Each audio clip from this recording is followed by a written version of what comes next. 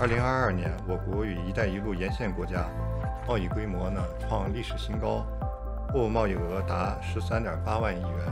同比增长百分之十九点四，高于整体增速十一点七个百分点。我国呢与沿线国家双向投资也迈上新台阶，涵盖多个行业，其中对沿线国家非金融类直接投资呢是一千四百一十点五亿元。沿线国家对华实际投资呢是八百九十一点五亿元，同比呢分别增长百分之七点七、百分之十七点二，高于整体增速零点五个百分点和十点九个百分点。